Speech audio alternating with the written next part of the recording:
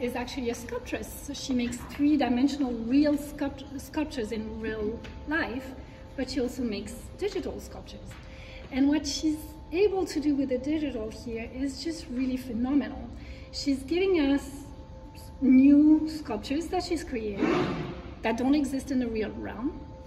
She's giving us an incredible, improbable architecture, something that's if you were trying to build this, it might not be sound, you know? And she's giving us an incredibly low flying angle to experience it.